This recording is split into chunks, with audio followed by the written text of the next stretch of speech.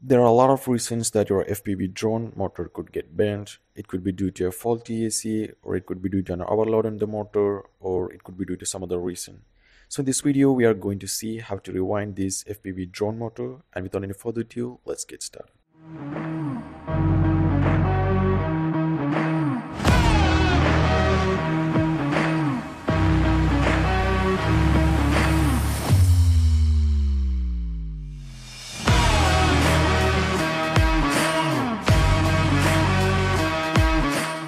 This is a DYS Samguk series 2400 kV motor. This DYS motor don't have any glue and it will be very easy to remove this one. So first we have to remove the bell from the motor. There are lots of methods in which you can remove this E-clip like using a professional tool that is dedicated for this one or if you have a plier or if you have a screwdriver that also you can use in order to remove this one. Here we are going to use two screwdrivers.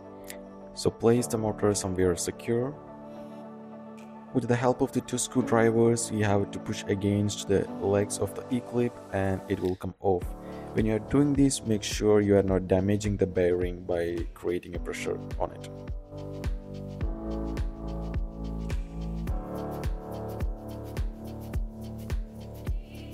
The clip has come off from the shaft now, keep it somewhere secure. Now you can separate the bell from the motor. We have removed the bell and now it is time to separate the base from the stator of the motor as it will be very easy to rewind it. Some of the motors have an epoxy glue here that fix the base to the stator and in that case we will have to use some epoxy glue remover or we have to apply some heat in order to soften the glue and then remove the base. But this DYS motor don't have any glue and it will be very easy to remove this one. So depending upon the motor, we have a lot of options on how to separate the stator from the base. Like you can put a long screw here and hammer it from the other side and that pressure will separate the stator. Or you can put four long screws here and tighten one by one and this will push out the stator from the base. Or you can use a bearing puller tool here that will pull the stator by pushing against the base. Or you can go ahead and rewind it without removing the base but it will be very difficult and a tedious task. Here we are using the bearing puller tool to separate the stator. We consider this as the most important and crucial step in motor rewinding as if it is not done properly you can damage the stator, the base, the bearing and it can damage the whole motor itself. The stator is pushed against the base to fix it there so that's why we are using the bearing puller tool here and if your motor have an epoxy glue then this method will not work you have to use an adhesive remover or you have to heat up the motor and then use something to pull out the stator.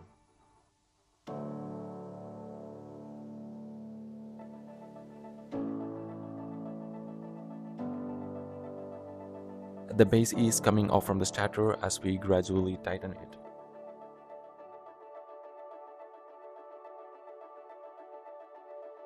We have fully separated the stator from the base and now it is time to remove the, all the windings.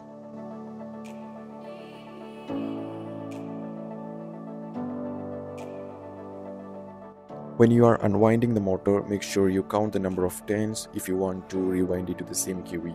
Here in this DYS Samguk series for 2400 kV motors, the number of turns are 10.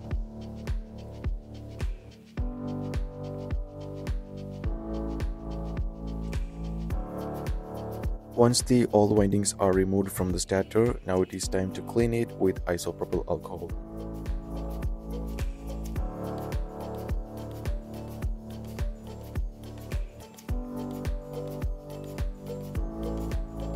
Now it is time to put new windings, but before that we need to make sure that the insulation on the stator is not damaged. If the old insulation is damaged, then you have to insulate it again by applying some glue or UV solder mask if you don't do this and rewind the motor, then that will shorten the winding and it will burn your motor again. You can head over to this website to check the winding scheme calculator too if you would like to generate the winding scheme for your motor if you're having a different configuration. So you can type in the number of slots here, then the number of poles and whether you want delta or Y configuration that also you can choose here and then if you click the calculate then that will generate the winding scheme for you Here you can see some uppercase and small case letters. This indicates the winding direction. The uppercase means clockwise and the smaller case means it's in anti-clockwise. So it goes like this clockwise, anti-clockwise, anti-clockwise, then again it goes to clockwise, clockwise and so on. We will be following the DLRK Evolution Delta winding scheme for the 12 pole 14 magnet motor starting with the pole number 1 in clockwise direction then moving to the pole number 2 in anti-clockwise direction and once that is completed we'll be moving to the opposite poles here which are the 7 and 8 then on 7 we'll be doing counterclockwise and on the 8 we'll be doing clockwise. Then the second phase the second phase we are starting with the pole number 4 here in anti-clockwise direction and then we move on to the pole number 3 in clockwise direction. Then once that is done we'll be moving to the exact opposite poles here which are the 9 and 10 uh, starting with the 10 in clockwise direction then we'll be moving to the pole number 9 in anti-clockwise direction. Then the last phase that also starts with pole number 5 here in clockwise direction and then we move on to the pole number 6 in anti-clockwise direction then we will be going to the opposite pole here which are the 11 and 12 and the 11 starting with counterclockwise and then we move on to the 12 in clockwise. So if you look at this pattern you can see that the starting are in 1 then 4 and 5 and if you look all two pairs of wires are coming out at the same poles. So it doesn't create any confusion which wire should be paired with which one if you look at some different winding schemes you can see that different wires are starting at different poles and different wires are ending. So it might be create a confusion which two wires will come out. So in this case it doesn't leave any space for confusion as you can see that all two wires are coming out at the same poles. So you can just pair them and you can solder the silicone wires there and that will be done. You can also mark down the tooths of the stator it will make the rewinding a lot easier this is a 14 pole 12 tooth brushless motor. We are using the DLRK evolution winding scheme. This is one of the easiest winding pattern because this doesn't create any confusion. If you look at the winding scheme you will see that two of the wire pairs are coming out at the same slot.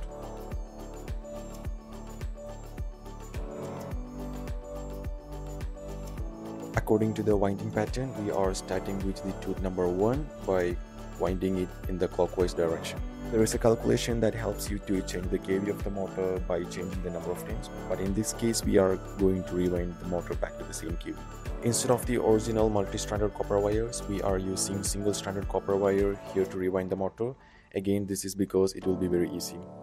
Every time you complete one turn, make sure you tighten the copper wire while pulling it off and this will give you a clean look and the winding will look intact.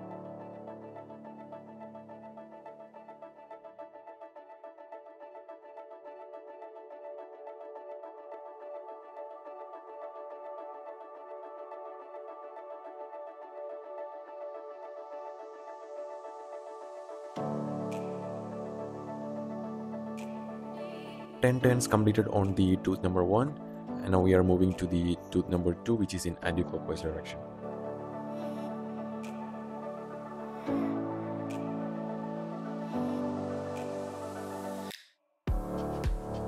After every 2 or 3 turns, you can push off the older windings to the inner side so that there will be enough space for you to put new windings else this can lead to overlapping and the winding will look really ugly.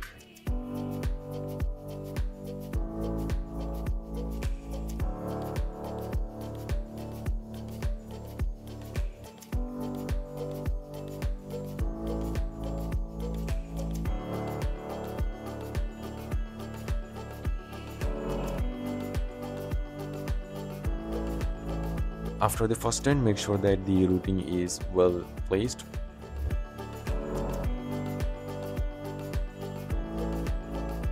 Now we are starting with the number 7 which is again in anti-clockwise direction.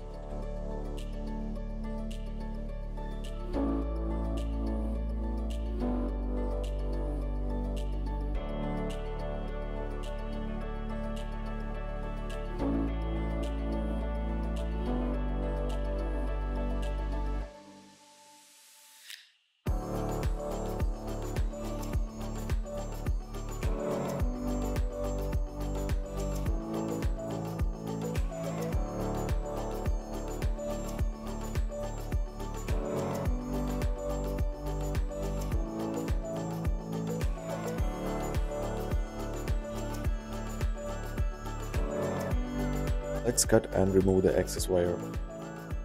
We have completed rewinding the first phase and we are starting with the second phase on the tooth number 4 which is in the anti-clockwise direction.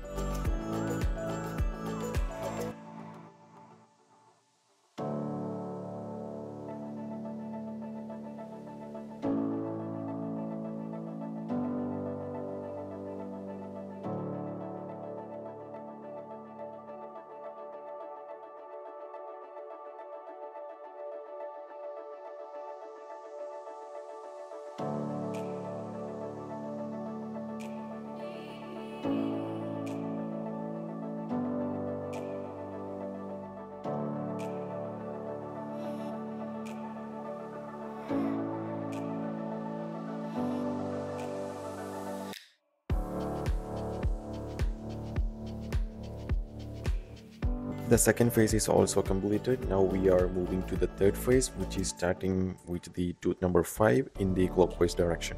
By this time you can see that two of the wires are coming out at the same slot or at the same slit. It will be very easy to solder the wires. That's why I said this is one of the easiest winding patterns out there.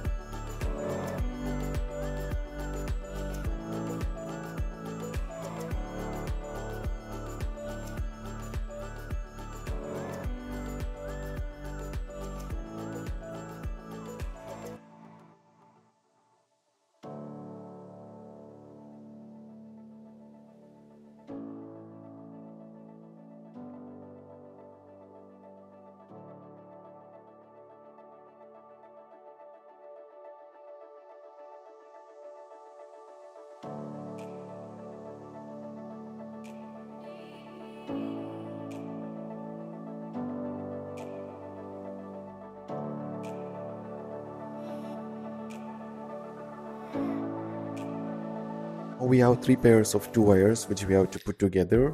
And does not create any confusion which wire goes to the which one because they are all coming together at the same slot.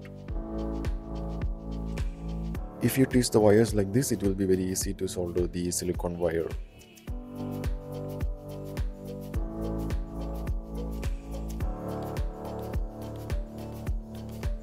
it is time to put new silicone wires to the copper wires, but there is an insulation on these copper wires that we need to remove. There are lots of methods to remove the insulations like we can scrape off using a blade or we can get insulation removers from the market which also does the job very perfectly. If the insulation is not removed, it will take a lot of time and a lot of heat in order to remove that insulation by directly soldering or pre-tinning the copper wire. Here we are going to use the insulation remover that we bought from the market we are applying a little bit of the chemical at the end of the wires and leave it here for a few seconds. After that we can pre-tin the wires directly and put new silicone wire. See that we are able to pre-tin the wires very easily when we applied the insulation remover but if you are trying to do this without the insulation remover or the flux or even without scraping it off it will be very difficult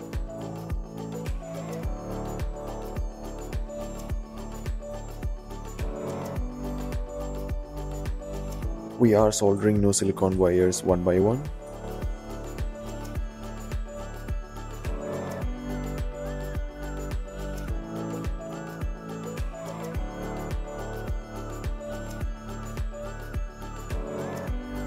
Now let's put heat shrink to secure the soldering from shorting.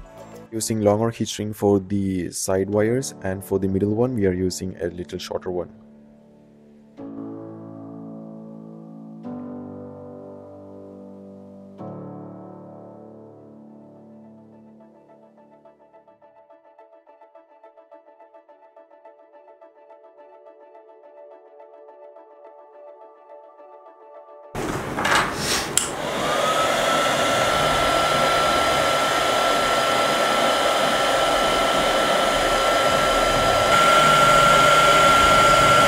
Let's add one more heat shrink to secure three of the wires together.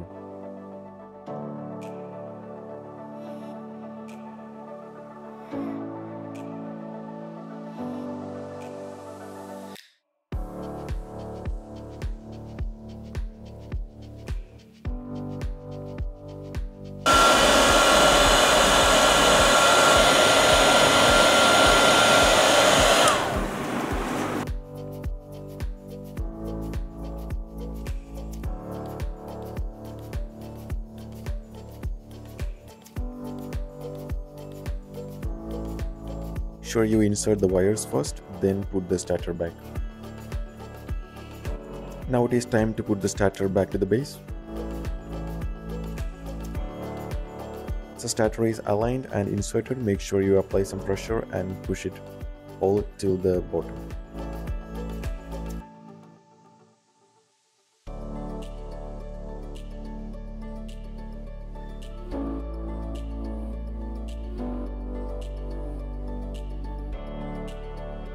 Once that is completed, you can apply a little bit of epoxy or some other glue here so that the stator will not come off. Or if you want, you can hammer it down at the base of the motor without damaging the motor.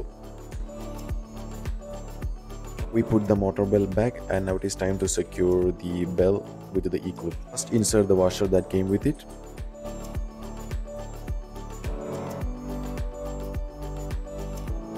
Then align the E-clip and push it.